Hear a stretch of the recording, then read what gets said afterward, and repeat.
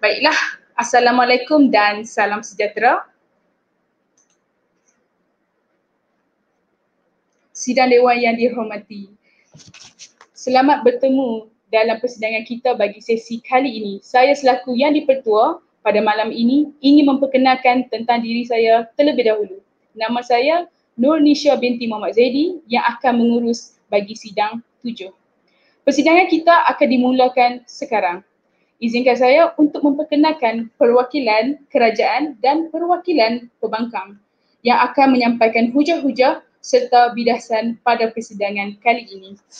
Baiklah, saya memperkenalkan terlebih dahulu pihak kerajaan akan diwakili daripada Sekolah Menengah Sains Muzaffar Shah di mana Yang Amat Berhormat Perdana Menteri akan diwakili oleh Nur Afiqah Aliyah bin Azhar binti Azhar, maafkan saya, dan seterusnya yang berhormat Timbalan Perdana Menteri akan diwakili oleh Nur Farihah Syakira binti Muhammad Azli dan yang terakhir yang berhormat Menteri Pertahanan akan diwakili oleh Nur Alia Safia binti Muhammad Zaidi.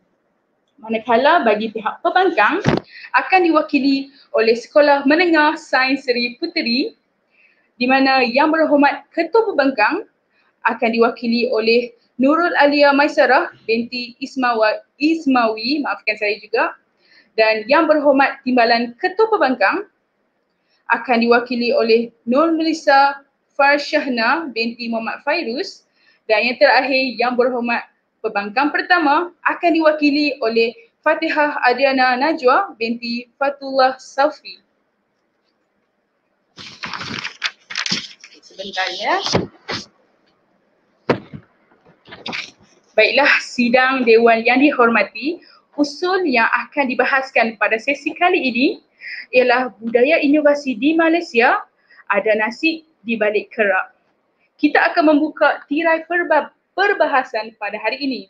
Dengan ini saya mempersilakan Yang Amat Berhormat Perdana Menteri iaitu Nur Afiqah Aliyah binti Azhar Azhar, maafkan saya, untuk tampil bagi mengemukakan usul perbahasan dan membuka konsep perdebatan seterusnya membahas isu tersebut bagi pihak kerajaan yang amat berhormat dipersilakan.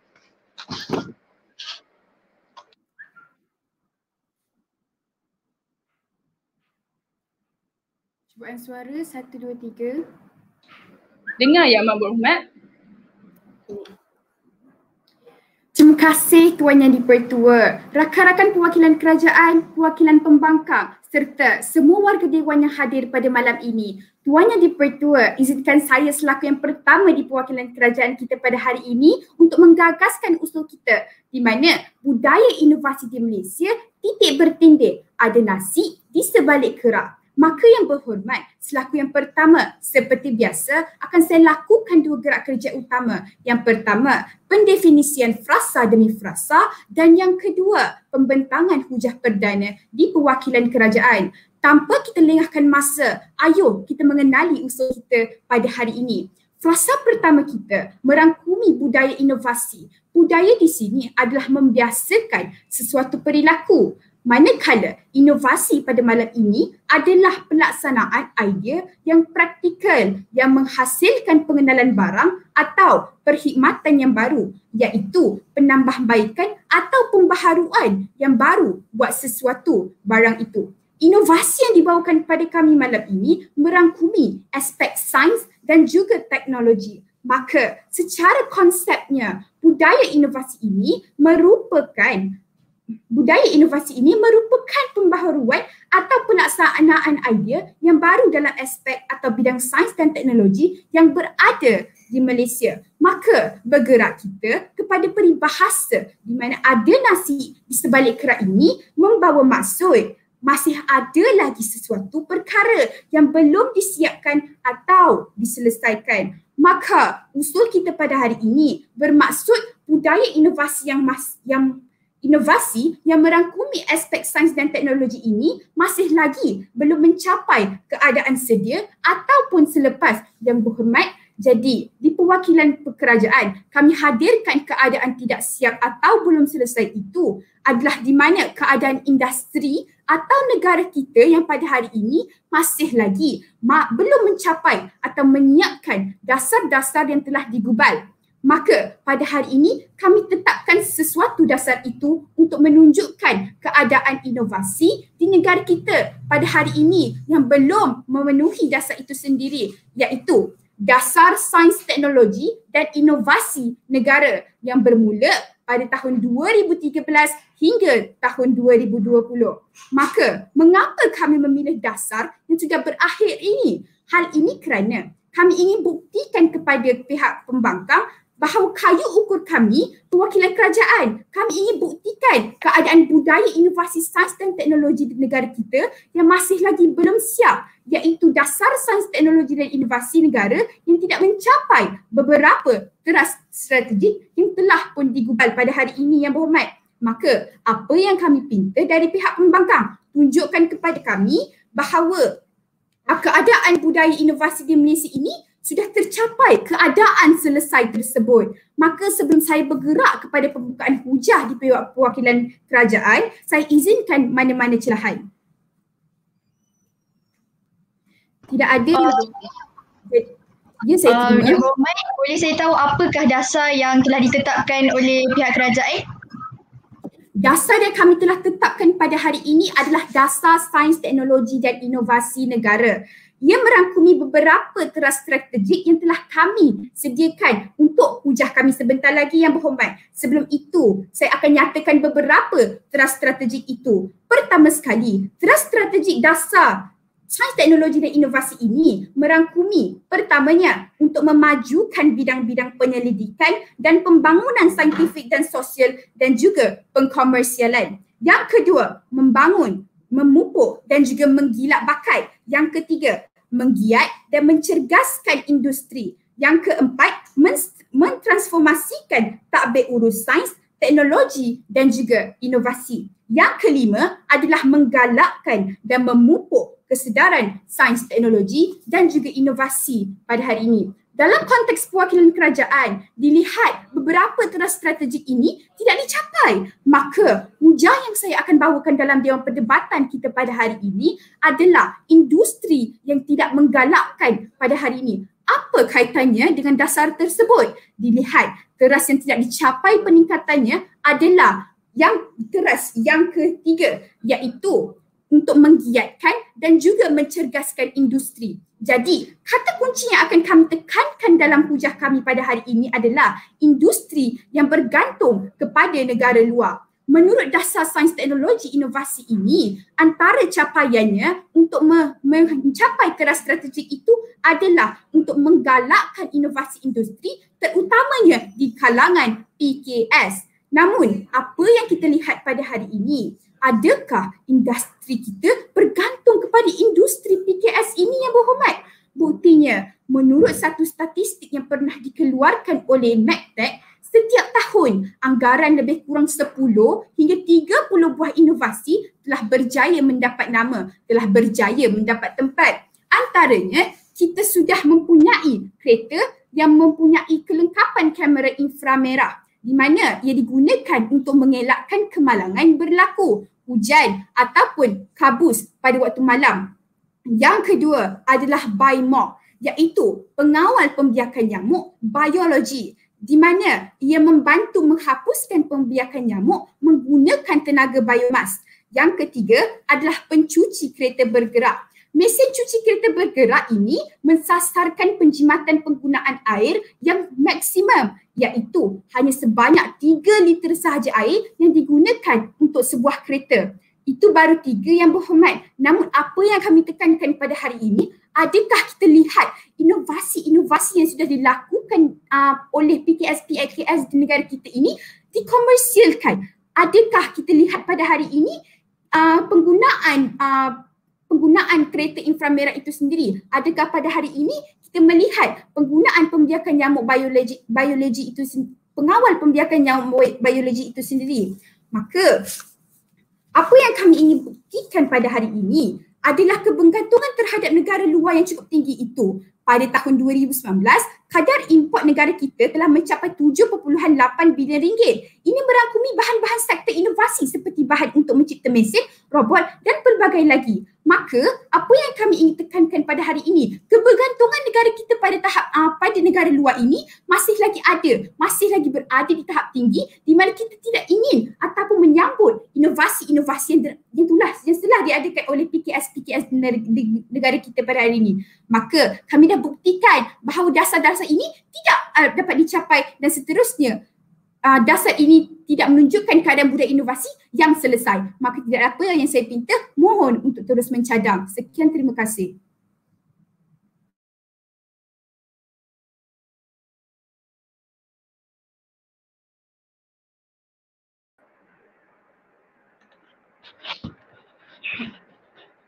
Baiklah, terima kasih saya ucapkan kepada Yang Amat Berhormat Perdana Menteri atas hujah yang dikemukakan.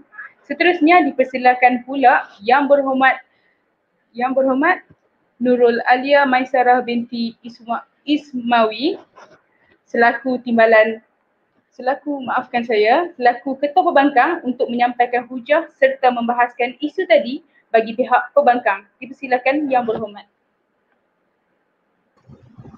Uh, cuba suara jelas? Boleh dengar yang berhormat? Ya.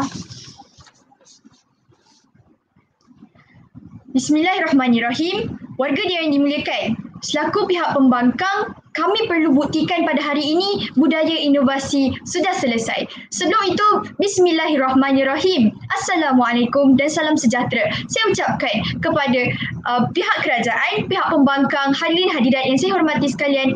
Assalamualaikum, salam perdebatan kesemuanya. Warga Dewan yang dimuliakan, usul pada hari ini budaya inovasi di Malaysia ada nasi di balik kerak.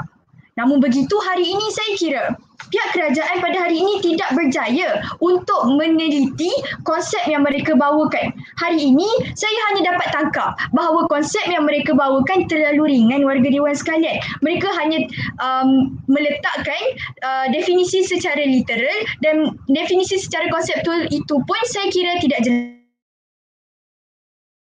Seterusnya, bahawa kayu ukur pada hari ini sama ada kita ingin lihat dari segi dasar bagi dewan sekalian, saya bagi satu fakta. Menurut Kementerian Sains, Teknologi dan Inovasi, pada Disember 2020, kita telah berjaya untuk mengkomersialkan 386 produk dan teknologi hasil kajian dan penyelidikan yang dibiayai kerajaan. Dan perkara ini telah menyumbang sebanyak berapa warga dewan sekalian? 402 juta ringgit. Dan apa?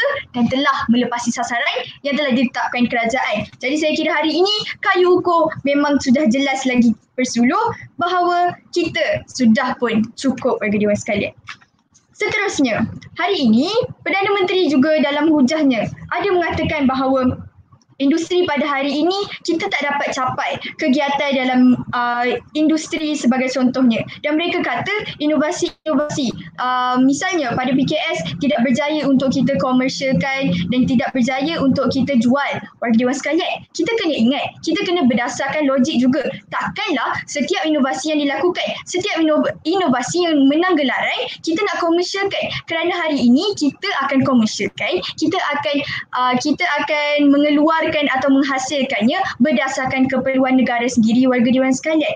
Jadi seterusnya, mereka juga ada katakan bahawa kita kebergantungan luar tenaga, luar negara. Saya percaya ya, kita bergantung kepada luar negara. Tapi kenapa kita bergantung kepada luar negara? Supaya satu hari nanti kita dapat juga setanding dengan negara-negara yang mereka cakap warga dewan sekalian. Ya, mengapa saya bagi contoh? Pada Mei 2017, Johor Corporation menandatangani perjanjian dengan syarikat China Siasun Robot Investment untuk membangunkan bandar robotik masa hadapan di atas tanah seluas 1000 ekar bernilai 15 bilion. Dikatakan ia dapat membuka seribu peluang pekerjaan buat rakyat tempatan. Jadi saya kira hari ini kebergantungan tenaga kerja daripada luar negara itu amatlah bagus untuk negara Malaysia. Selesai pembidasan konsep dan hujah di meja perwakilan kerajaan, saya teruskan kepada kami yang lebih murni dalam uh, Dewan Perdebatan pada hari ini. Warga Dewan yang dimuliakan, selaku yang pertama, seperti biasa, saya akan menyampaikan satu hujah di bawah kata kunci keadaan sedia ada. Bangun yang kedua akan menyampaikan tentang keberhasilan industri atas rasional kami melihat kepada keberhasilan dan keupayaan sedia ada warga Dewan sekalian. Sebelum saya mulakan hujah pada hari ini, ada sebarang pertanyaan daripada pihak sana? Uh, izin laluan yang berhormat. Yep kami tetapkan tentang keras strategi kita pada hari ini iaitu kami nak tingkatkan graduate uh, PKS-PKS kita pada hari ini. Adakah dengan kebergantungan pada negara luar itu uh, akan membantu PKS-PKS ini yang berhormat? Warga Dewan, saya rasa ia amat membantu kerana hari ini bila kita ada adaptasi daripada negara luar, kita dapat bangunkan negara kita supaya setanding dengan mereka. Dan hari ini jika perkara itu berjaya dan saya pasti memang kita akan membantu uh, pekerja-pekerja daripada negara kita untuk berkemahiran juga. Jadi saya kira izin jawab pertama kami iaitu keadaan sedia ada. Sebagaimana yang saya telah katakan sebentar tadi, kita Malaysia telah melepasi sasaran yang telah ditentukan oleh kerajaan. Sebenarnya saya rasa kalau saya tak cakap hujah ini pun, saya rasa dapat menjawab kayu ukur dan dapat membuktikan bahawa uh, usul pada hari ini ditolak Dewan. Tapi tidak mengapa, saya akan terangkan berdasarkan dana, agensi dan inisiatif yang telah dilakukan. Warga Dewan bergerak kepada dana. Dana pada tahun 2021, kerajaan telah memperuntukkan lebih daripada 220 juta. Dan saya kira perkara ini dapat mempertingkatkan perkembangan inovasi. Kerana apa dengan dana ini? Kita dapat membantu tidak kala, tidak kisahlah industri, tidak kisahlah agensi-agensi untuk um, untuk mengadakan pelbagai pertandingan. Untuk apa? Untuk kita menyedarkan lagi tentang inovasi ini dalam kalangan rakyat Malaysia, warga Dewan sekalian. Seterusnya, saya buktikan agensi kita. Kita ada Yayasan Inovasi. Kita ada Perbadanan Produktiviti Malaysia. Jadi melalui agensi-agensi ini, kita telah Uh, kita telah lakukan pelbagai inisiatif dan kita juga telah ada pelbagai kejayaan yang mampu menghasilkan produk inovasi yang bermutu tinggi. Bagi dia sekali saya tunjukkan UiTM Dengkil seramai tiga orang yang berumur 9 tahun 19 tahun maafkan saya. Mereka telah berjaya untuk membuat video inovasi tentang produk buluh berasaskan serai. Dan perkara ini di bawah Perbadanan Produktiviti. Mana kata pada hari ini, saya kira kita sudah ada budaya inovasi yang cukup menarik, cukup cantik untuk Malaysia. Bagi Dewan sekalian, saya tunjukkan yang kedua. Enhance track Enhance track sedian berhaid dengan kerjasama Nano Malaysia. Kita telah wujudkan apa? Pengecas tanpa wayar nanoteknologi pertama Malaysia yang akan dikomersialkan. Dan perkara ini uh, dijangka akan menyumbang 1.9 bilion pada 5 tahun akan datang selepas kita sudah komersialkan. Saya kira pada hari ini perkara ini amatlah berguna kepada negara kita kerana perkara ini pun di bawah Musti Warga Dewan yang mana pada hari ini merupakan salah satu kementerian inovasi sains dan teknologi. Dan perkara ini juga warga Dewan, kita dapat sejajar dengan revolusi industri 4.0 jadi hari ini saya telah terangkan kepada CEC Dewan bahawa keadaan kita pada hari ini sudah cukup warga Dewan sekalian. Jadi saya kira budaya inovasi di Malaysia ada nasi di balik kerak iaitu yang bermaksud masalah yang belum selesai berjaya kami tolak di pihak pembangkang pada hari ini. Mohon untuk terus membangkang. Assalamualaikum.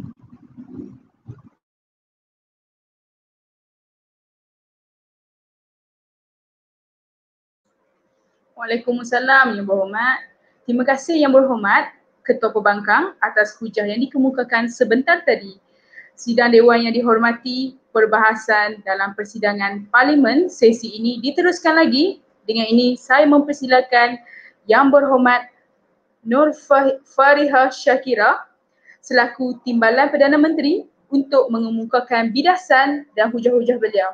Dipersilakan yang berhormat. Cubaan suara. Boleh dengar yang berhormat? Terima kasih Tuan Nadi Pertua, rakan-rakan yang berpandangan jauh delegasi kerajaan, barisan pembangkang yang berwawasan, seterusnya sidang Dewan Hadirin yang dimuliakan. Salam perpaduan dan salam perdebatan saya titipkan. Pada hari ini, Dewan ini bersidang untuk membahaskan satu usul yang saya kira cukup bernas lagi kan menarik untuk diperdebatkan Usul pada hari ini pada hari ini berbunyi budaya inovasi di Malaysia titik bertindih ada nasib di balik kerak. Bangkitnya ketua pembangkang yang pertama telah mentakrifkan usul. Kesalahan utama pihak pembangkang ialah mereka tidak menunjukkan pendirian yang jelas di pihak mereka. Mereka juga tidak menunjukkan mengapakah usul pada hari ini wajar ditolak warga Dewan sekalian selesai sudah masalah pentakrifan usul yang dan menegakkan kembali pentakrifan kami di barisan kerajaan. Tuan Yang Dipertua, bangkitnya Ketua Pembangkang sebentar tadi telah membawakan hujahnya di bawah kata kunci keadaan sedia ada. Namun permasalahannya di sini Yang Berhormat, Yang Berhormat telah menyatakan bahawa Uh, kita telah pun uh, menyelesaikan mensasar, uh, kita telah pun mencapai sasaran ditetapkan oleh pihak kerajaan. Namun yang berhormat tidak menyertakan bukti yang begitu kukuh untuk yang berhormat uh, yang berhormat yakinkan kami di pihak kerajaan bahawa sesungguhnya perkara ini telah pun disasari Selain itu, Yang Berhormat turut menyatakan bahawa kerajaan telah memperuntukkan dana sebanyak 200 juta untuk melaksanakan pertandingan-pertandingan dan yang menggalakkan inovasi di negara kita. Namun sebenarnya Yang Berhormat ingin saya perbetulkan sedikit di sini Yang Berhormat.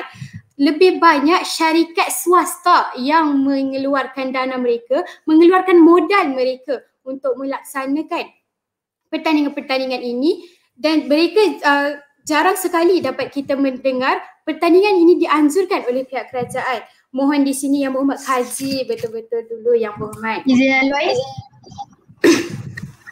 Akan selesai bidasan saya terhadap ketua pembangkang yang kata-katanya bagaikan daun-daun kering berseliarkan, berselirakan di tanah sekali ditiup melayang di bawah angin. Sebelum saya teruskan kepada hujah saya mana-mana celahan um, yang berhormat, kita ada pelajar yang menang inovasi di peringkat dunia. Adakah kita masih gagal? Adakah perkara ini masih belum selesai? Yang berhormat, yang memenangi pertandingan di peringkat dunia itu hanyalah beberapa orang sahaja dan ini masih tidak cukup untuk mencapai sasaran yang telah kami di pihak kerajaan tetapkan yang berhormat. Tuan Yang Dipertua, menyusul kepada hujah kami yang kedua di bawah indikator pendidikan tidak mendorong inovasi. Tuan Yang Dipertua, seperti yang kita ketahui akan ada penganjuran pertandingan reka cipta inovasi pada setiap tahun. Dalam pertandingan ini, para peserta akan menghasilkan rekaan-rekaan yang berinovasi yang tiada pada waktu semasa. Namun, rekaan ini hanyalah semata-mata untuk dipertandingkan kehebatannya kerana hasil daripada ciptaan-ciptaan tersebut tidak diaplikasikan sama sekali. Saya sertakan contoh pada tahun 2013, salah satu daripada kumpulan peserta pertandingan ini telah pun mencipta satu bekas minuman yang mampu menyejukkan dan memanaskan air tanpa menggunakan medium yang lain. Adakah di masa kini alatan ini telah pun dihasilkan kembali dan dipasarkan? Tidak sama sekali yang berhormat. Tidak kelihatan pun di mana-mana kompleks membeli belah yang memperdagangkan bekas minuman ini bekas be, bekas minuman yang sedemikian rupa. Maka di sini sudah jelas bahawa Jabatan Pendidikan hanyalah menganjurkan pertandingan tanpa menggalakkan inovasi ini untuk diperkembangkan lagi. Bagi menutup penghujahan kami di perwakilan kerajaan pada malam ini, saya akan nyatakan satu lagi hujah di bawah kata kunci tiada pelaburan dari industri terhadap inovasi. Memetik kata-kata menteri di Jabatan Perdana Menteri dari sektor ekonomi untuk Datuk Seri Mustafa Mohamed berkata, untuk menjadikan negara negara kita berpendapatan tinggi, kita perlu melakukan transformasi kepada ekonomi. Kita perlu meningkatkan bakat yakni pekerja berkemahiran. Kita perlu mewujudkan sebuah ekosistem yang mendorong inovasi dan keusahawanan. Inovasi ini tidak akan dapat didorong kerana geran kerana industri kerajaan telah pun memansuhkan geran inovasi ini para pereka cipta hanya boleh mendapatkan geran ini melalui syarikat swasta sahaja. Saya sertakan lagi satu contoh di sini. Tiga pasukan telah berjaya merangkul hadiah utama berupa geran inovasi berjumlah RM60,000 pada pertandingan yang dianjurkan oleh Yayasan Sam Darby. Makna kata pada hari ini, mereka perlu memenangi pertandingan yang dianjurkan oleh pihak swasta untuk mendapatkan geran inovasi ini. Dengan ini, mereka-mereka cipta akan mengalami kesukaran untuk mengeluarkan hasil ciptaan berinovasi mereka. Sebelum saya teruskan, ada mana-mana celahan? Uh, yang berhormat, takkanlah hari ini katakan kita ada 10 produk yang semuanya menang. Takkanlah 10-10 produk tu kita nak komersialkan. Respon?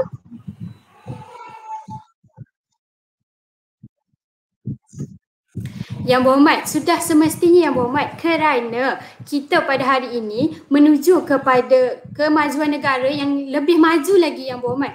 Jadi, kita perlu mengkomersialkan segala inovasi-inovasi yang telah pun dicipta agar kehidupan kita di masa akan datang lebih maju daripada masa yang sekarang. Yang berhormat, saya harap saya menjawab soalan yang berhormat. Berbalik kepada hujah saya.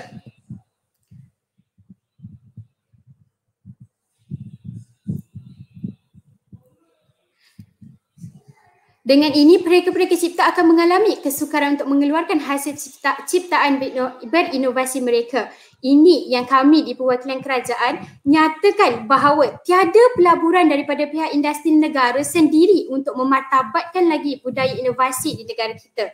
Sudah jelaslah di sini bahawa dasar inovasi sains yang telah ditetapkan tidak akan dicapai sepenuhnya kerana gagal melengkapkan keenam-enam dasar yang telah pun ditetapkan tamatlah arena penghujahkan kami di perwakilan kerajaan pada hari ini. Dengan ini, saya mohon usul budaya inovasi di Malaysia ada nasi di balik kerak untuk diterima. Sekian mohon untuk terus mencadang. Assalamualaikum.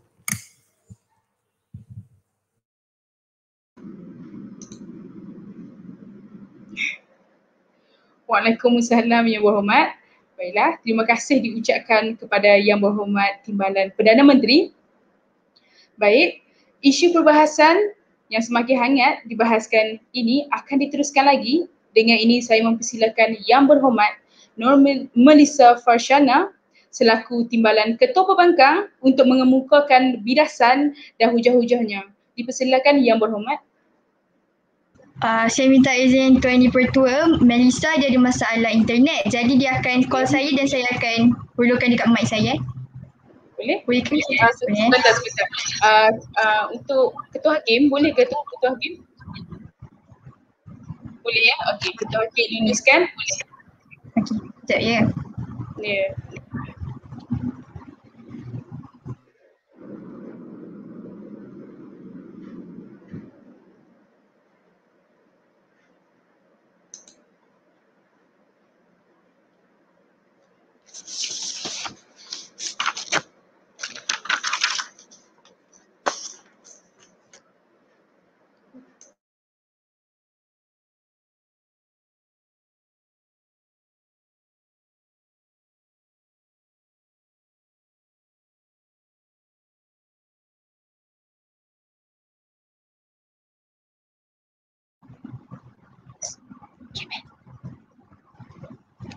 Ada suara.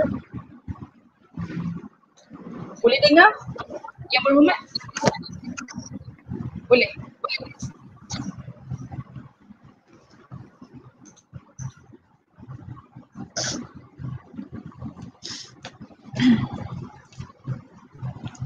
Mel boleh teruskan ya?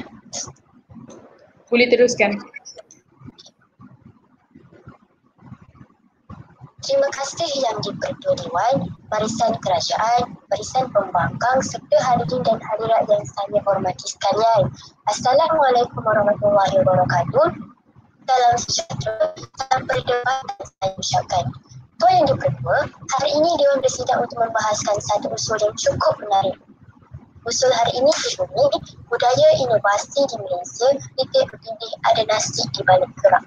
Tuan Yang di-Pertua, saya menjadi tadi membawa mudah akan tiada pelanggan dari sektor industri. Namun masalahnya ialah takkanlah kita nak komersialkan seluruh produk-produk tersebut. Kita ada fikir adakah kita mampu untuk um, di Malaysia ini adakah peruntukan kita cukup bagi dewan sekalian untuk mengkomersialkan, mengkomersialkan uh, semua produk tersebut. Maka di sini pastinya akan menjamin satu kerugian dari Malaysia kerana kita mengkomersialkan dengan secara tidak agak-agak. Dan di kedua, kita bergerak kepada tugas utama saya sebagai timbalan kita pembangkang untuk menyampaikan hujah. Melihatkan kepada usul kita pada hari ini, kami akan memberikan dua hujah di bawah rasional keberhasilan keupayaan mekanisme sedia ada. Kami ukur, kami ukur rasional ini apabila berlakunya keberhasilan industri melalui kebersediaan budaya inovasi. Terus untuk menyampaikan hujah. Baiklah tuan-tuan dan puan-puan sekalian, jika dilihat dari sudut pencapaian negara di persada antarabangsa, Malaysia ketika ini berada di tangga ke-8 di Asia dalam Indeks Inovasi Global GII. Warga Dewan yang bersedang, kita masih lagi di kedudukan ke-8 negara teratas Asia. Kedudukan ini membawa perspektif yang baik kepada negara dan masyarakat kerana kita berjaya mengecapi kedudukan ke-8 teratas di Asia tersebut. Dewan sekalian, kita lihat keberhasilan industri melalui kebersediaan dan inovasi ini. Kita lihat inovasi yang dijalankan oleh sektor perikanan.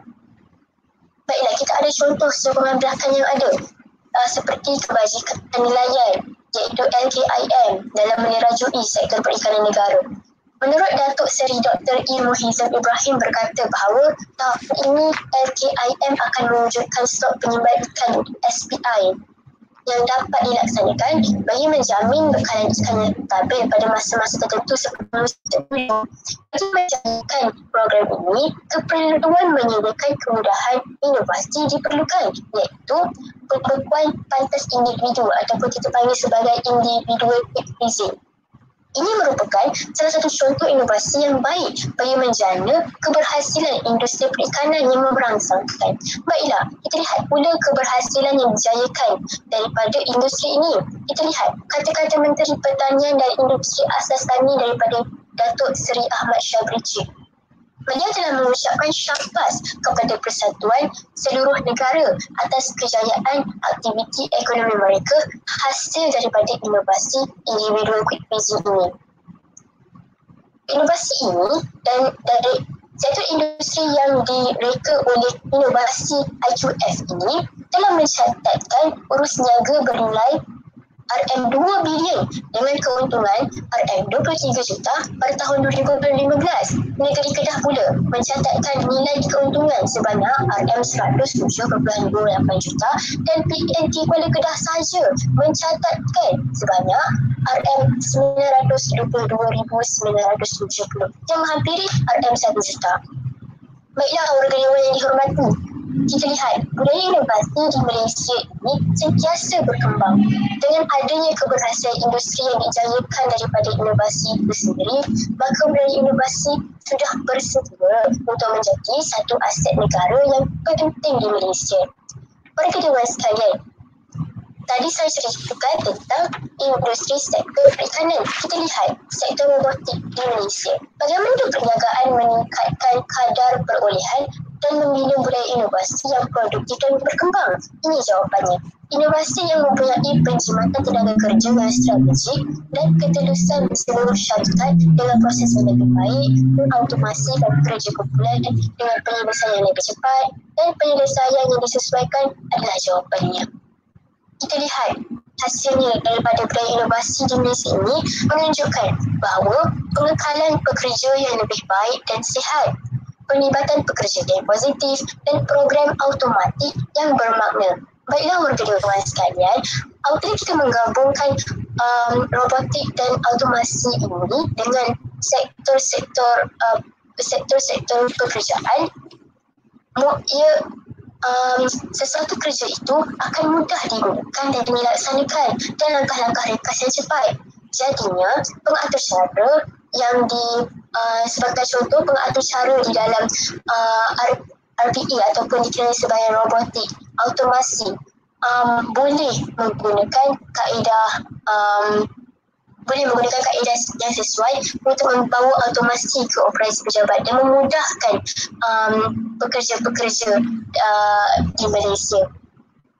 Selain itu juga uh, sektor uh, robotik ini dapat membantu memindahkan dan seumpama dengannya sebagai uh, salah satu medium yang dapat membantu uh, pekerja untuk melaksanakan kerjanya dengan cekap serta proaktif. Perkiraan sekalian, RPA um, robot, sektor robotik dan automasi ini adalah perisian yang berfungsi yang berasaskan awan dan dapat mengautomatisasikan proses dan juga digitalisasikan operasi yang membosankan dan membantu pemimpin mencapai maklumat mereka dan membina kesediaan kepada pekerjanya kita lihat perkejuan sekalian, budaya inovasi yang sudah direka banyak membantu masyarakat dari segi pelaksanaan industri, kemudahan gerak kerja dan kelancaran kerja manusia. Perkejuan sekalian, saya saya yakin pembuktian ini sudah cukup untuk meyakinkan kepada pihak kerajaan bahawa inovasi di Malaysia ini sudah bersedia sehingga dapat menjamin keuntungan, keuntungan yang baik kepada rakyat. Maka saya pinta ambil terakhir sebelum saya menutup portfolio sebagai timbalan ketua pembangkang, saya ingin sidang Dewan sekalian fikir-fikirkanlah tentang keberhasilan yang dijayakan oleh Malaysia ini. Malaysia sudah bersedia mengembangkan budaya inovasi dengan tenaga-tenaga yang jitu ini. Mohon untuk terus membangkang. Assalamualaikum.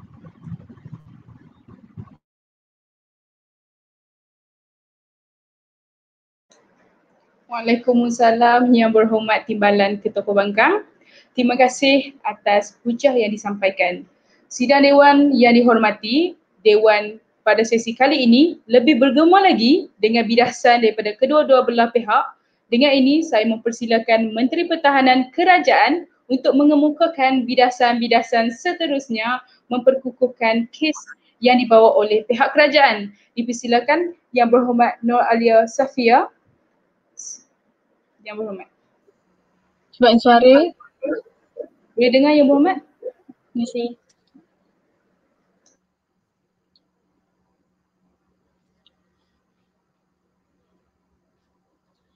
Bismillahirrahmanirrahim. Terima kasih Tuan Yang Dipertua Proksi Kerajaan Pembangkang seterusnya warga Dewan sekalian yang bersidang warga Dewan sekalian setenang malam yang tenang ini warga dewan sekalian. Tenang lagi penghujahan saya, pembidasan saya di dalam dewan perdebatan kita pada hari ini warga dewan sekalian. Suka saya mulakan penghujahan saya dengan menjawab beberapa uh, keraguan yang diberikan oleh perwakilan pembangkang. Akan tetapi warga dewan sekalian tiada. Saya tunggu punya tunggu keraguan yang diberikan. Tiada warga dewan sekalian. Jadi kita teruskan meneliti masalah-masalah yang begitu besar di perwakilan pembangkang kita pada hari ini warga dewan sekalian. Pertama, menjawab mereka tidak menjawab beban bukti dengan baik warga dewan sekalian. Di mana kami menuntut uh, kami menuntut mereka membuktikan keadaan budaya inovasi yang selesai di mana kami perwakilan kerajaan katakan selesai ini berdasarkan dasar sains, teknologi dan inovasi warga dewan sekalian. Maka beban bukti kami tidak dijawab dengan baik warga dewan sekalian. Kedua, mereka katakan dapat ta- uh, kami, penghujahan kami di perwakilan kerajaan uh, terlalu ringan. Konsep kami tidak jelas. Yang berhormat saya mendengar bidasan comel ini tergelak saya warga dewan sekalian. Kerana apa? Bidasan ini hanya atas angin. Jadi jika pengujian kami tidak lengkap, maka apa warga dewan sekalian? Yang ketiga, mereka katakan uh, mereka mempertikaikan uh, hujah kami di atas kata kunci kebergantungan dengan negara luar. Mereka katakan supaya kita lebih setanding dengan negara luar bila adaptasi pekerjaan-pekerja kita lebih berkemahiran warga dewan sekalian. Pertama, kami hadirkan hal ini, kami tunjukkan kepada warga dewan sekalian bahawa dengan kebergantungan dengan negara luar ini kita tidak dapat memenuhi dasar sains teknologi dan inovasi warga dewan sekalian di mana kami katakan dasar ini merupakan cara kami tetapkan dasar inilah kami uh, ukur selesai ataupun tidak warga dewan sekalian. Tiba-tiba bangkit ketua pembangkang membidas supaya kita lebih setanding dengan negara luar warga dewan sekalian. Comel sungguh ketua pembangkang kita pada hari ini warga dewan sekalian. Yang keempat mereka uh, mereka di perwakilan pembangkang tiada asas bangkangan. Yang pada hujah ketua pembangkang mereka mereka menolak usul kita pada hari ini warga dewan sekalian. Akan tetapi tetapi saya tidak jelas dengan asas bangkangan, dengan konsep di perwakilan pembangkang di dalam Dewan Perdebatan kita pada hari ini warga Dewan sekalian. Yang kelima, perwakilan pembangkang tak cakna dengan pembukaan konsep di perwakilan kerajaan pada hari ini warga Dewan sekalian. Penat Perdana Menteri kita berhujah sebentar tadi warga Dewan sekalian. Yang keenam, mereka katakan tak semua kita perlukan mengkomersialkan produk-produk ini warga Dewan sekalian. Sebentar yang berhormat. Pertama, yang berhormat kita lihat apabila produk itu tidak dikomersialkan, maka perwakilan pembangkang setuju bahawa tiada sokongan daripada kerajaan, daripada industri industri kita sendiri warga dewan sekalian. Sekalipunlah logik kita kata kalau kita dah selesai budaya inovasi ini, sudah semestinya kita mendapat sokongan 100% daripada negara eh, daripada industri kerajaan kita sendiri di mana produk-produk inovasi ini akan kita komersialkan. Di situ kita katakan selesai budaya inovasi warga dewan sekalian. Yang ketujuh saya pertikaikan kembali tiada keraguan warga dewan sekalian. Sebentar yang berhormat. Yang ke-8 masalah terbesar perwakilan pembangkang seolah-olah menggelapkan pembukaan konsep Perdana Menteri kita pada hari ini warga Dewan sekalian. Kami tetapkan selesai itu kita perlihatkan kepada negara kita sendiri yang tidak memenuhi dasar sains teknologi dan inovasi warga Dewan sekalian. Kenapa warga Dewan sekalian? Telah dibuktikan oleh rakan-rakan Sri Kandi saya di perwakilan kerajaan. Sebelum saya teruskan silakan mana-mana warga Dewan sekalian. Adakah uh, yang berhormat ingin cakap kalau kita capai 100% produk yang beratus-ratus ribu tu dikomersialkan baru kita berjaya macam tu ke? Terima kasih yang berhormat. Yang berhormat saya katakan kalau kita kata budaya inovasi ni dah selesai maka sokongan yang kerajaan ataupun industri industri kita beri itu akan lebih menyokong produk-produk ini maka tidak ke semua tapi saya katakan ia akan menggalakkan kebanyakan produk komer, produk inovasi ini warga Dewan sekalian selesai menjawab persoalan yang dibangkitkan oleh ketua pembangkang kita yang begitu comel pada malam ini. Warga Dewan sekalian saya teruskan dengan pemidasan uh, hujah-hujah di perwakilan pembangkang pada hari ini warga Dewan sekalian pertama di, di bawah kata kunci keadaan sedia ada. Mereka katakan mereka uh, lampirkan dalam Dewan Perubatan berkaitan dengan dana berkaitan dengan inisiatif agensi budaya inovasi yang cukup dan sebagainya warga Dewan sekalian pertama apakah jaminan perwakilan pembangkang pada hari ini yang dana ini akan disalurkan kepada inovasi warga dewan sekalian. Yang kedua, hujah pertama mereka gagal sungguh memenuhi konsep di perwakilan kerajaan pada hari ini warga dewan sekalian. Kita terus dengan pemidasan hujah yang kedua. Mereka uh, memberikan, uh, mereka mengatakan di dalam hujah ini keberhasilan ia keberhasilan industri, pencapaian secara global warga dewan sekalian. Saya tekankan kembali warga dewan sekalian, penat saya tekankan kembali warga dewan sekalian. Adakah dengan perkara ini kita dapat mencapai, dapat memenuhi dasar sains teknologi dan inovasi kita warga dewan sekalian. Sekalipunlah warga dewan sekalian, kita lihat dasar sains teknologi dan inovasi negara kita sendiri pun tak dapat kita penuhi, tiba-tiba kita nak bangkitkan tentang uh, isu uh, pencapaian secara global ini warga dewan sekalian. Saya tekan kembali sedangkan kita punya dasar ini sendiri, dasar budaya uh, sains teknologi dan inovasi kita sendiri tidak dapat dipenuhi warga dewan sekalian. Hujah ketiga mereka, mereka katakan tentang program automasi dan robotik. Mereka katakan sesuatu kerja akan mudah dilaksanakan warga dewan sekalian. Pertama warga dewan sekalian, apa kaitan program teknologi robotik dan otomasi ini dengan usaha kita pada hari ini warga dewan sekalian. Usaha kita membuktikan budaya inovasi ini selesai ataupun tidak warga dewan sekalian mengikut ketetapan yang ditetapkan oleh perwakilan kerajaan di mana berdasarkan dasar sains teknologi dan industri warga dewan sekalian. Selesai menjawab uh, membidas segala hujah-hujah di perwakilan pembangkang. Kita teruskan dengan perwakilan kerajaan. Pertama, industri yang bergantung kepada negara luar. Yang kedua, pendidik, pendidikan yang tidak mendo- menggalakkan inovasi itu sendiri warga Dewan sekalian. Yang ketiga, tiada pelaburan dari sektor industri kita dalam menggalakkan budaya inovasi ini warga Dewan sekalian. Warga Dewan sekalian, usul kita pada hari ini bukan untuk bunga-bunga di dalam Dewan Perdebatan ini untuk bergaduh warga Dewan sekalian. Akan tetapi kami perwakilan kerajaan percaya budaya inovasi kita ini masih tak siap lagi berdasarkan uh, apa yang telah dibangkitkan oleh Perdana Menteri kita iaitu dasar sains inova- teknologi dan inovasi di mana negara kita sendiri tak mencapai dasar ini warga dewan sekalian. Bukan niat kami nak pertikaikan, nak kata kerajaan kita ni gagal meng, uh, menggalakkan inovasi ini warga dewan sekalian. Akan tetapi kita kena sedar dulu supaya pada akhirnya kita dapat muhasabah kembali warga dewan sekalian. Oleh itu tangan yang mengayun buayan boleh menggoncang dunia warga dewan sekalian. Saya selaku Sri Kandi terakhir di perwakilan kerajaan, saya mohon usul pada hari ini diterima. Saya tutup portfolio Menteri Pertahanan sepenuhnya. Sekian, Assalamualaikum.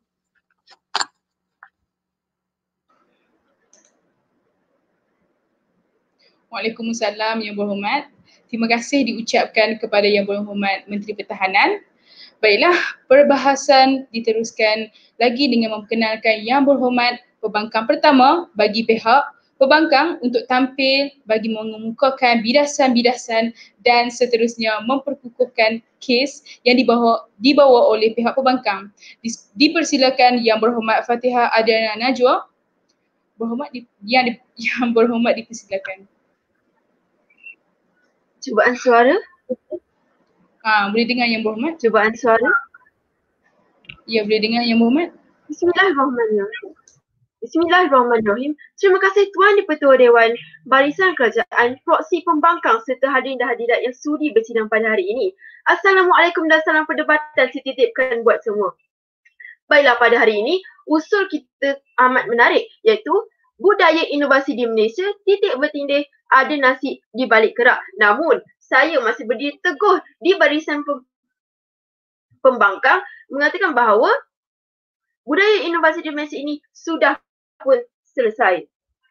Baiklah, pada hari ini saya akan melakukan gerak kerja saya iaitu untuk membidas segala hujah-hujah pincang yang telah disampaikan oleh pihak kerajaan sebentar tadi. Saya mulakan pembidasan saya terhadap Menteri Pertahanan daripada menteri daripada Perdana Menteri lagi sehingga Menteri Pertahanan asyik mengatakan bahawa terlalu banyak inovasi yang tidak dikomersialkan oleh kerajaan dan Menteri Pertahanan mengatakan bahawa uh, kerajaan tidak mengambil penting tentang inovasi itu. Masalahnya di sini, contohlah, jika terdapat 5,000 inovasi, takkanlah kita mahu komersialkan semua itu. Sudah pasti kerajaan memikirkan dahulu yang mana yang patut dikomersialkan dahulu dan mana yang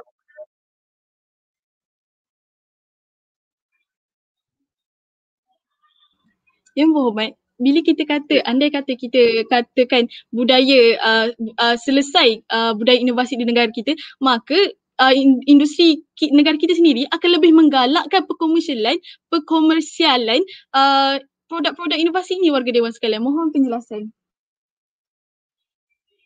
Terima kasih Yang Berhormat. Menggalakkan komersial itu. Ya, memang betul. Jika kerajaan pada hari ini menyokong untuk ini mereka agak mengkomersialkan inovasi tersebut. Tetapi seperti saya katakan tadi, dah kalau terlalu banyak inovasi, bagaimana nak komersialkan? Kerajaan sudah berfikir dahulu sebelum melakukannya.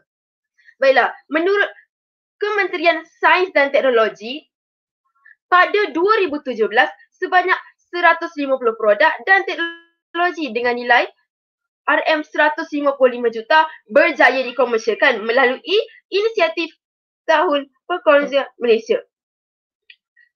Ya. Contoh yang dikomersialkan ialah seperti basikal elektrik, pengasihan glukasa dan juga sistem pendengar data. Jadi di sini kita boleh lihat bahawa bukannya kerajaan tidak mahu mengkomersialkannya tetapi kami mem, uh, untuk lebih penting dahulu Baiklah, seterusnya.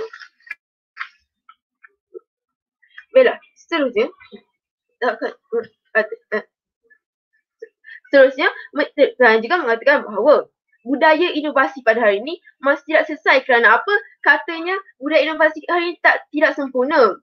Ba- mana ada perkara yang boleh capai 100%. Masih masih ada walaupun sedikit ratus.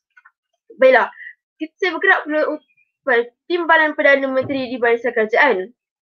Timbalan Perdana Menteri ada menyatakan bahawa pertandingan yang dianjurkan oleh kerajaan tidak ramai yang menang pertandingan tersebut. Baiklah, ya Ahmad Berhormat. Ahmad Berhormat tidak menyatakan sasaran berapa untuk yang menang. Kerana apa? Contohnya, masuk se- sebuah pertandingan dan 10 orang daripada rakyat Malaysia.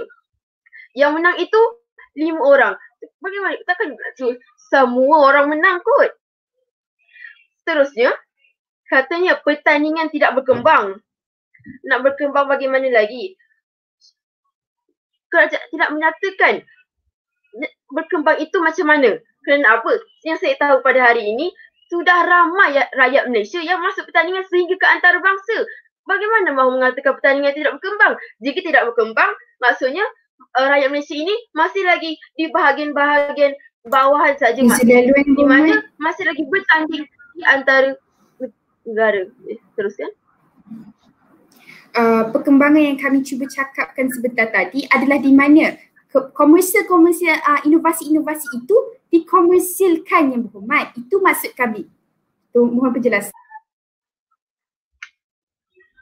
Sudah saya nyatakan tadi bahawa saya rasa saya sudah menyatakan ini dua kali tadi. Di mana inovasi yang dihasilkan itu telah bet- uh, ya inovasi itu sangatlah bagus. Tetapi takkanlah kita nak mengkomersialkan semua. Sudah letih saya menerangkan takkan kita nak komersialkan semua. 100% semua inovasi yang ada ini mau dikomersialkan. Jika dilakukan tersebut, kita nak fokus yang mana jika di, mau dikomersialkan semua. Baiklah, saya teruskan dengan bidasan saya. Timbalan Perdana Menteri mengatakan bahawa kita perlu inovasikan semua inovasi daripada pertandingan tersebut. Mana mungkin sama hati logik. Kita kenalah ikut keadaan semasa. Contohnya sekarang ini sudah ada inovasi kereta terbang. Dan kita tidak kita, untuk dalam inovasi kereta terbang itu kita, kan perlu ikut keadaan. Jika telah wujud eh, contohnya saya, jika kita sekarang ini kita wujudkan sebuah motor terbang takkanlah hari ni kita buat motor terbang, esok semua orang kena pakai motor terbang itu. Itu amatlah tidak logik. Teruskan. Ya. Ya. Cik, tu. Ah.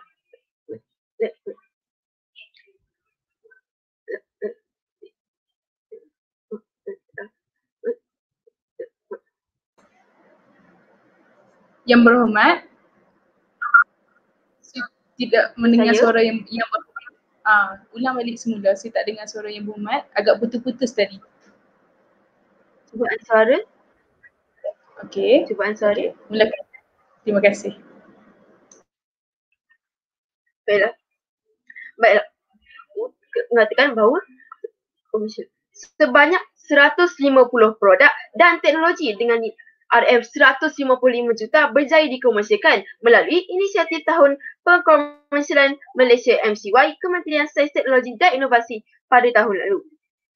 Antara produk yang eh, menteri wah kekuatan jadi pada hari ini kita mahu memikirkan ke arah perkomersialan secara global dan produk itu mampu memberikan kesan yang besar pada negara pada ini. Kita memilih dahulu inovasi yang ingin dikomersialkan. Akhir sedikit pemudasan kepada Perdana Menteri. Perdana Menteri pada hari ini mengatakan sama mana daripada yang pertama hingga ketiga masih bermasa tentang kop tidak dikomersialkan. Jadi saya rasa pemidasan saya pada ini sudah cukup mengatakan bahawa dari inovasi pada ini sudah selesai kenapa? Tidak menyatakan kan, tidak menyatakan apa yang tidak selesai pada masa ini. Uh, untuk itu daripada saya mohon untuk terus membangkang. Terima kasih.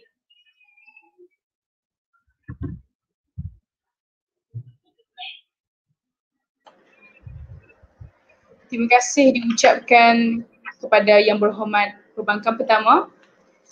Okey, baiklah sidang dewan yang dihormati. Demikianlah tadi kita melihat dan mendengar hujah-hujah serta bidasan-bidasan daripada ahli-ahli yang berhormat pihak kerajaan dan pihak perbankan untuk memberi peluang kepada ahli-ahli yang berhormat membuat persediaan untuk ucapan sesi pergulungan Dewan ditangguhkan selama seminit.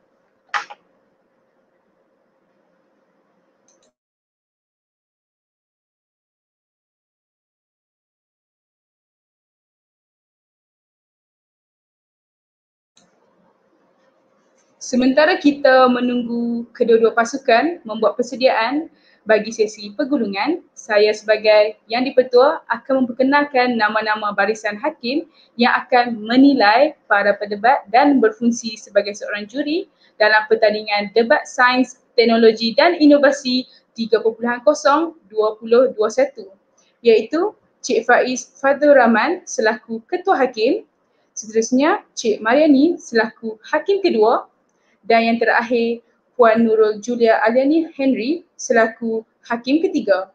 Untuk makluman para hadirin, Puan Julia merupakan Pegawai Perancang Bahasa Dewan Bahasa Pustaka di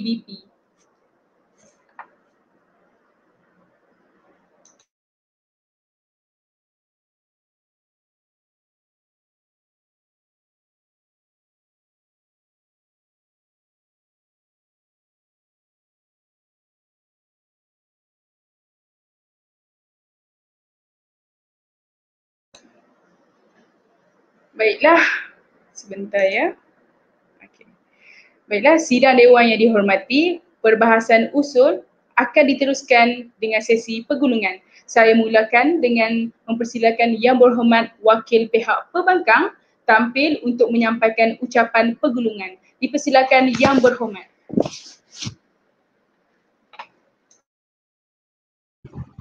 Cubaan suara. Jelas? Jelas Yang Berhormat.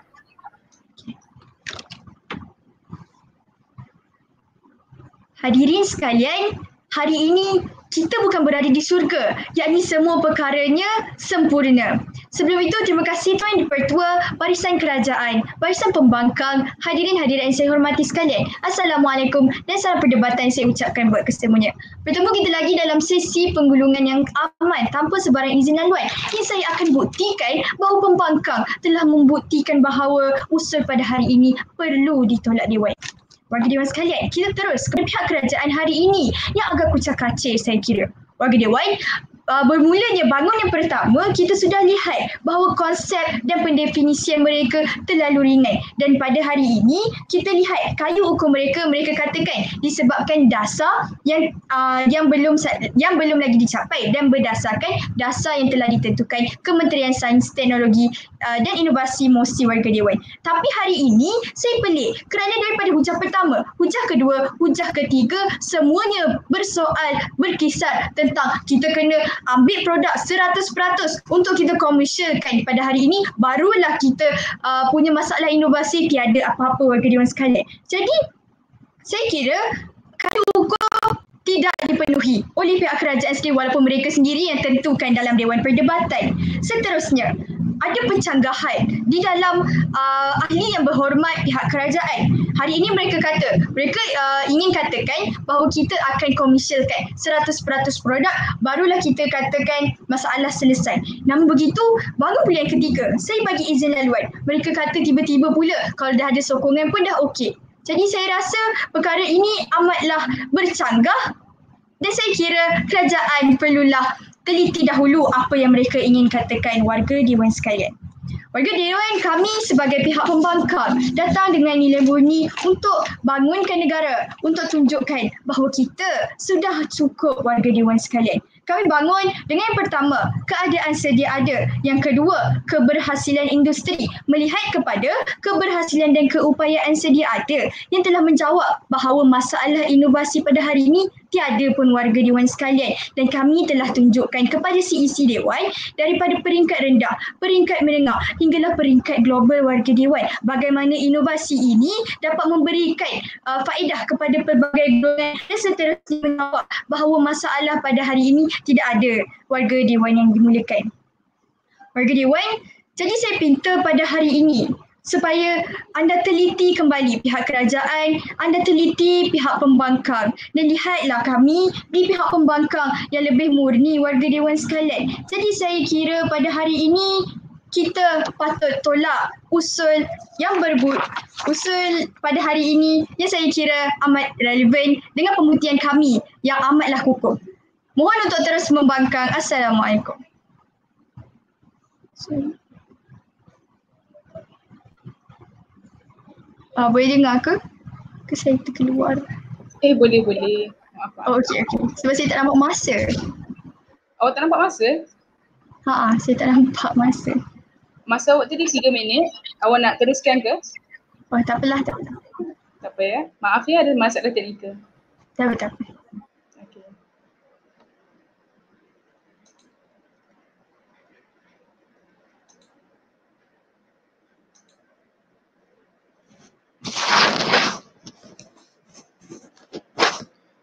Baiklah, terima kasih kepada yang berhormat. Ahli-ahli yang berhormat, sidang dewan yang dihormati. Seterusnya kita mempersilakan wakil pihak kerajaan pula tampil untuk menyampaikan ucapan pergulungan. Dipersilakan yang berhormat. Cubaan suara satu, dua, tiga. Boleh dengar yang berhormat? Terima kasih Tuan Yang Dipertua, rakan-rakan perwakilan kerajaan, perwakilan pembangkang serta semua yang hadir di arena, di arena penggulungan kita pada hari ini iaitu sepi tanpa izin yang luar yang berhormat. Pertama sekali akan saya hadirkan beberapa permasalahan yang pihak pembangkang berikan kepada kami pada hari ini. Perlu kita cakna sekali lagi, apakah usul kita pada hari ini? Budaya inovasi di Malaysia. Ada nasi di sebalik kerak perlu saya berikan sekali lagi definisi ini yang berhormat kerana kami lihat pihak pembangkang seperti tidak memahami definisi yang telah saya berikan buat peribahasa ini. Ada nasi di sebalik kerak ini adalah sesuatu perkara yang belum disiapkan atau diselesaikan. Maka kami hadir dengan dasar pembangunan, dasar sains teknologi dan juga inovasi negara di mana dalam dasar-dasar tersebut ia berlaku dari tahun 2013 hingga tahun 2020 dalam dasar-dasar tersebut terdapat beberapa teras strategi iaitu untuk memajukan bidang-bidang penyelidikan dan pembangunan saintifik.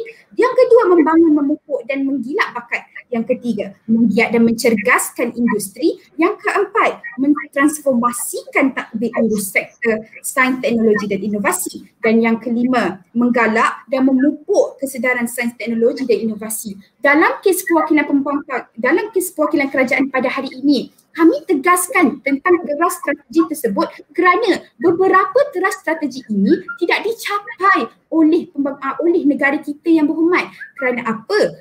Terdapat beberapa permasalahan ataupun perkara yang menghalang daripada teras strategi ini untuk dicapai.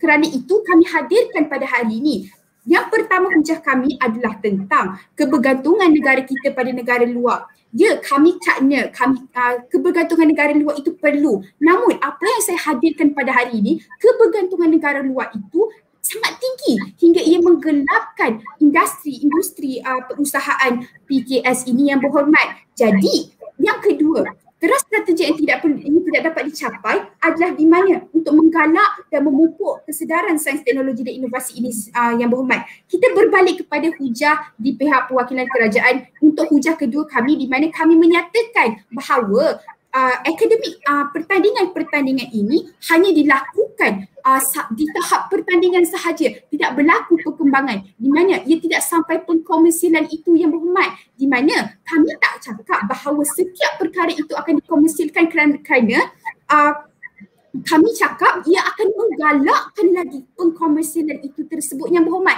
Perlu kita cakna. Jadi kami bersetuju dengan uh, beberapa uh, contoh-contoh di pihak uh, perwakilan pembangkang pada hari ini. Ya, kita memang dah capai beberapa uh, teras strategik tersebut. Namun, apa yang kami hadirkan pada hari ini adalah tidak selesai ataupun uh, keadaannya tidak selesai negara kita pada hari ini dalam mencapai dasar-dasar sains teknologi dan juga inovasi negara kita. Perma- uh, contoh-contoh yang telah diberikan oleh pihak pembangkang semua telah pun dicapai oleh dasar negara kita. Namun, beberapa trust strategi itu masih lagi belum dicapai.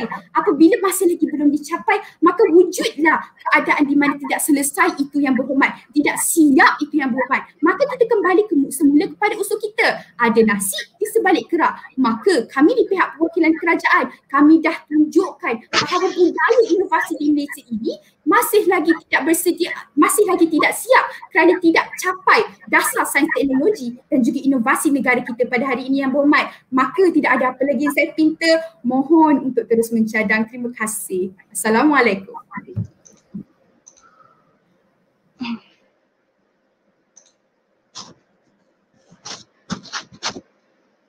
Baiklah, terima kasih kepada yang berhormat. Ahli-ahli yang berhormat, sidang Dewan yang dimuliakan dengan ucapan pergulungan oleh pihak kerajaan itu tadi, maka berakhirlah persidangan Dewan kita pada kali ini. Uh, tetapi sidang kali ini merupakan pusingan senyap maka Dewan akan ditangguhkan sehingga esok pagi. Keputusan akan diumumkan pada esok hari sebelum sidang suku akhir bermula pada sesi roll call. Akan tetapi, para pedebat masih perlu menunggu di StreamYard untuk mendengar komentar daripada para hakim. Justru saya mempersilakan para hakim untuk memberi komentar kepada para pedebat. Rahim, ujian suara merdu, ujian suara merdu, boleh dengar? Boleh dengar yang ke? Uh, jadi terlebih dahulu saya jemput uh, Puan Nurul Julia untuk memberikan komentar jika ada lah. Okey baik. Terima kasih Ketua Hakim yang berhormat, eh, yang dipertua, uh, yang berhormat semua dan juga rakan Hakim Puan Mariani. Alhamdulillah selesai uh, debat sidang 4, eh, sidang 7, pusingan 4 pada malam ini. Baik saya uh, Nurul Julia, Hakim uh, kalau khususnya untuk aspek bahasa lah ya. Uh, jadi saya akan komen terlebih dahulu uh, paling banyak tentang aspek bahasa lah. Uh, pertamanya uh, saya mendengar sebutan uh, sebutan apa tu sebutan standard lah sebutan baku uh, yang paling ketara uh, ada dua yang kita dengar lah kalau yang bakunya yang yang lain tu uh, sebutan yang betul lah kita biasa uh, dengar uh, dua perkataan komersial dengan uh, industri ya yeah. ada juga yang ada pendebat lah yang terbabas uh, rasanya pendebat tu sendiri tahu uh, industri komersial komersial komersial ya jadi di situ kena berhati-hati di situlah nanti uh, jika ada mendebatkan uh, tentang uh, perkataan yang sebegini Kemudian uh, sebutan berkaitan dengan sebutan juga uh, kebanyakan pendebat ni uh, ter, terlalu laju nak menyampaikan hujah ya. Terlalu laju sehingga kan seperti bercakap bercakap dengan kawan bercakap dengan orang lain lah. Sehingga terkeluar perkataan yang macam tak tak nak tu eh yang jadi macam sebutan lisan tu eh Uh, kemudian uh, ada uh, perkataan yang sepatutnya hanya satu iaitu segala hujah-hujah tu mana segala hujah lah ya satu kira satu gitu. Kemudian uh, apa ni? Yang seperti bercakap tu juga uh, maknanya um, yang kata uh, mereka ada kata. Uh, eh mereka ada kata. Gitulah dia gaya bercakap. Kemudian uh, yang kedua dari segi definisi konsep uh, kata kunci dalam tajuk ini ialah budaya inovasi. Ya, kena faham apa itu budaya, apa itu inovasi. Jadi bila dikombinasikan budaya dengan inovasi itu, sebenarnya budaya itu uh, cara cara cara hidup sebenarnya budaya itu. Macam mana kita nak menjadikan inovasi itu satu satu daripada cara hidup uh, masyarakat Malaysia dalam uh, cara hidup masyarakat Malaysia sebenarnya ya. Kemudian ada diselipkan di situ peribahasa itu maknanya uh, budaya itu uh, adakah perlu dilangsungkan? Adakah sudah dilangsungkan? Bagaimana? Maknanya peribahasa itu maknanya belum selesai lah sebenarnya kalau ikut mana literal dia lah. Uh, tapi bagaimana menghujah tu saya mendengar uh, ada yang ada yang mengikut uh, definisi konsep itu. Ada juga yang terbawa ke arah yang lebih besar saya melihat di situ. Mungkin uh, uh, isi itu lebih di boleh dikomentar oleh Puan Mariani rasanya nanti ya. Kemudian yang dari segi kosakata gaya bahasa itu uh, uh, kita melihat tajuknya dah dilipkan situ peribahasa. Patutnya ambil peluang itu selitkan juga dua tiga peribahasa ke bidalan untuk mencantikkan uh, gaya pendebat itu berhujah. Ya, kena ingat ini pertandingan ya. Bukan semata-mata nak bagi hujah bagi isi nak bidas hujah tapi nak membidas atau nak berhujah itu seeloknya selitkan dengan uh, gaya bahasa yang menarik. Salah satunya paling senang ialah peribahasa lah. Ya. Kalau sempat nak berpantun situ elok juga lah berpantun. Kalau sempat di situ ya. Kemudian um, dari segi sapaan, ya sapaan uh, saya kadang-kadang mendengar pendebat ni menyebut mereka, anda, uh, sidang sidang dewan, sidang hadirin. Dan apabila memulakan uh, debat pun uh, seeloknya menyapa yang, yang dipertua. Sebab ini debat ala parlimen ya. Yang dipertua itu seharusnya kita hormat untuk memulakan hujah. Dan apabila mengakhiri hujah juga walaupun kita masa itu sudah tamat tapi seelok-eloknya buka dengan baik tutup pun dengan baik ya. Jangan tinggalkan uh, hujah anda sebegitu sahaja uh, jadi maknanya tidak masih macam tidak lengkap lah hujah itu. Kemudian yang uh, yang seterusnya beberapa perkataan yang salah ya. Saya, yang saya asas ni sebenarnya ialah adalah ya ada pendebat. Uh, saya nak terang lebih lanjut pengguna ialah adalah ni pun uh, ni. Tapi rasanya ada yang salah lah bila disebut. Contoh saya bagi hal ini uh, konsep ini uh, uh, merujuk uh, konsep ia ialah bukan adalah. Ha, gitulah ya kemudian yang salah lah ianya yang mana di mana itu ya. Sebenarnya yang mana di mana itu pengaruh bahasa Inggeris. Uh, disebab uh, pendebat menggunakan itu kerana nak menyambungkan satu frasa dengan frasa yang lain. Uh, disebabkan bercakap cepat laju tadi seeloknya berhenti pada satu frasa itu pada satu hujah itu berhenti sambung pula pada ayat, yang seterusnya supaya mengelak penggunaan di mana yang mana itu tadi ya uh, yang lain tu yang terakhir mungkin uh, masa berhujah tu ada sebut a a a kan? Uh, seeloknya uh, bila nak saya rasa mungkin nak mengingatkan hujah jadi seeloknya uh, sebut maaf lah ya maaf kemudian sambung balik dengan hujah bila ingat hujah itulah jangan terus dengan a a a, itu ya. Uh, mungkin itu daripada saya lah dari aspek, aspek bahasa gaya berbahasanya ya. Uh, ketua hakim sekian daripada saya Terima kasih Puan Julia. Okay, Puan Julia boleh isi markah dulu lah dekat borang sementara kami komen. Uh, seterusnya saya jemput uh, Puan Mariani. Okay, bismillahirrahmanirrahim. Assalamualaikum warahmatullahi wabarakatuh. Uh, terlebih dahulu saya nak ucapkan tahniah kepada adik-adik semua sebab uh, berjaya berdebat dalam keadaan yang agak mencabar. Saya sendiri tak ada pengalaman uh, berdebat secara online uh, biasa berdebat secara bersemuka. So Tanya, uh, tetapi ada sedikit um, uh, saya saya bukan bukan kata nak menegur apa tapi just share pengalaman supaya adik-adik boleh implement selepas ni sama ada di sekolah ataupun nanti di peringkat universiti. Okey, bila dapat uh, usul seperti ini, usul sama ada bentuk peribahasa, metafora adik-adik kena hati-hati. Kena strongkan dari aspek definisi konseptual. Kena faham secara literal dan secara konseptual. Kalau ia peribahasa, fahamkan maksud dia dan macam mana kita nak menerangkan secara konseptual. Di sini agak longgar. Uh, adik-adik bermain dengan budaya inovasi di Malaysia tetapi dalam setiap penghujahan tidak dikaitkan dengan ada nasi di balik kerak. Perasan tak? semua pendebat tidak kaitkan hujah dan kes inilah yang dipertua yang dikatakan ada nasi di balik kerak. Contoh, dan bila jadi pembangkang, kamu kena jelas, kita kena jelas sama ada kita nak menerima ataupun menolak uh, usul tersebut. Maksudnya kena penceritaan, kena bidas, konseptual, semua tu. Kemudiannya bangkitkan premis kamu. Contohnya, budaya inovasi di Malaysia, ni contoh eh, tiada nasi di balik kerak. Contoh. Maksudnya ada ada stand kan? Ada stand. Ni uh, tapi saya cuba memahamkan apa yang uh, kedua-dua tim perjuangkan. Okey, yang tu yang pertama.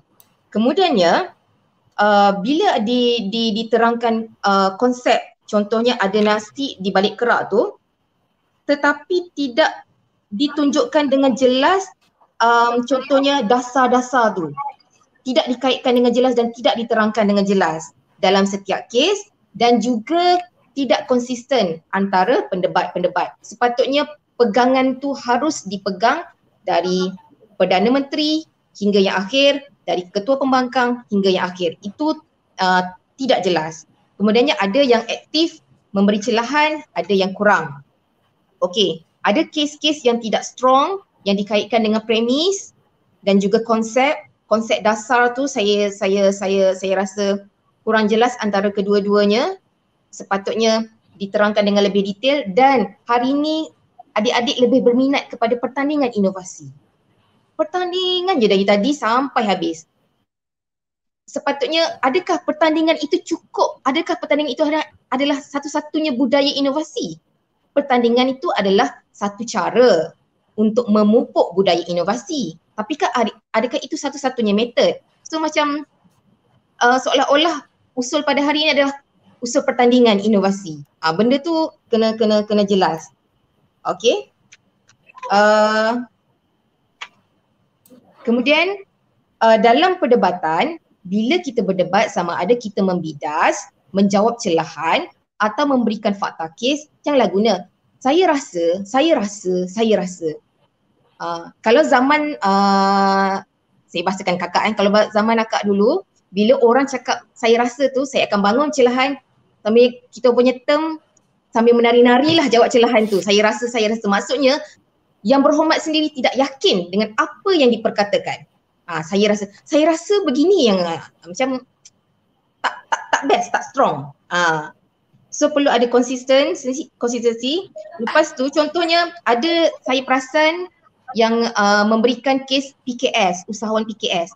So antara contoh uh, yang boleh, fakta kes yang boleh uh, dibawa contohnya contoh kita lihat pada uh, tempoh PKP ni kita tengok usahawan mikro di Malaysia adakah usahawan mikro di Malaysia mengimplementasi digitalisasi kaedah digital dalam perniagaan mereka berapakah persen implementasi digital tu adakah meningkat adakah mendata atau macam mana itulah menunjukkan satu bentuk adakah budaya inovasi itu telah berlaku dalam keusahawanan di negara Malaysia. Itu salah satu contoh.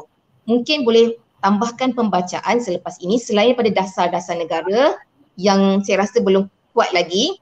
Boleh juga baca dasar keusahawanan negara, wawasan kemakmuran bersama. Itu adalah dasar-dasar yang penting. Uh, dan uh, cuba praktis selepas ni kalau waktu mukadimah tu sebaik-baiknya janganlah tengok kertas. Ah, uh, kalau kertas A4 tu praktis walaupun tak ada pertandingan lepas ni just conteng, conteng jangan cuba bina ayat sendiri. Bina ayat dalam kepala bukan bina ayat dalam kertas. Ah, uh, supaya kita lebih gah ah uh, bila bila bercakap tu. Janganlah macam bismillahirrahmanirrahim yang berhormat yang daripada mana uh, itu dah awal tu dah dah dah gaya macam tu. Okay? Okay saja. Terima kasih. Assalamualaikum.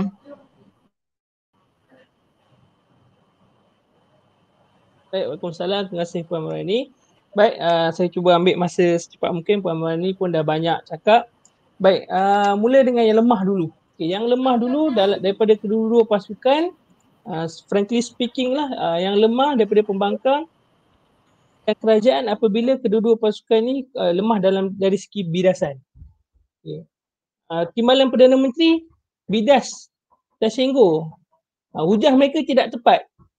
Maka patut ditolak. Apa yang tak tepat tu? Tak dinyatakan. Dan terus jam kepada hujah.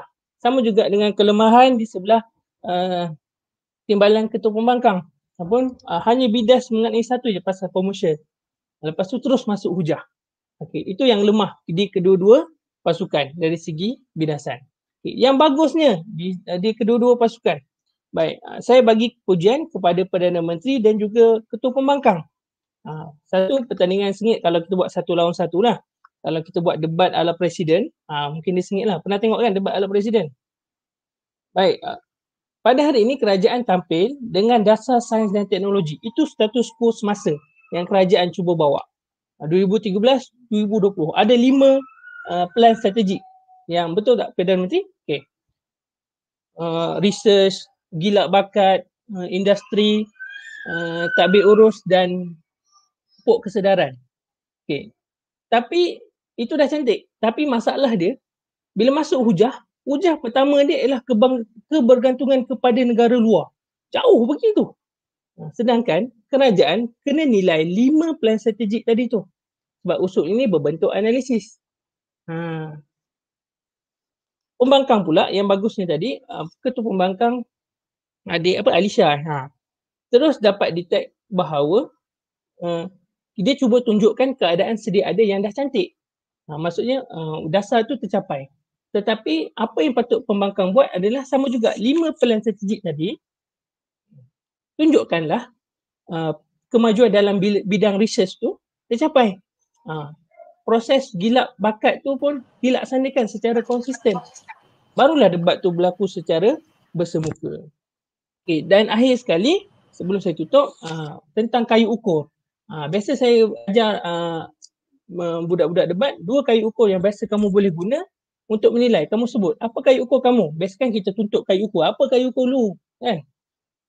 Jadi kita cakap pertama dia mencapai objektif ataupun matlamat. Yang kedua dia menyelesaikan masalah. Okay, dua kayu ukur ini boleh kita kamu gunakan dalam pengjujukan hujah ikat balik. Maksud benarlah pada hari ini dia telah mencapai objektif. Maka benarlah ia telah memenuhi dasar uh, kementerian semasa. Uh, menyelesaikan masalah. Okey, baik. Jadi nanti kalau layak ke pusingan seterusnya ataupun debat-debat di masa akan datang, gunakan kayu ukur ini. Okey. Capai objektif tak capai objektif. Simple. Okey. Uh, saya juga nak ucapkan terima kasih kepada YDP uh, yang diper, uh, sadari Indonesia kan betul daripada pagi yeah. hingga okay. Assalamualaikum warahmatullahi wabarakatuh tanya kepada Okey sebelum tu uh, para hakim dipersilakan ke breakout room untuk sesi perbincangan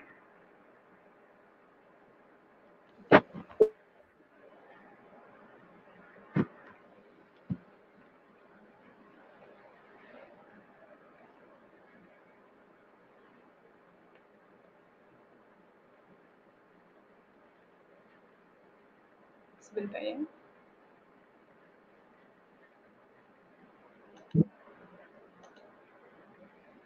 Okey, tanya semua untuk kedua-dua pasukan ya. Baiklah, sampai di sini saja. Para pendebat boleh uh, meninggalkan Sumiyat ini. Selamat, selamat maju jaya ya. Terima kasih semua. Terima kasih semua. Terima kasih banyak. Okay. Terima kasih semua.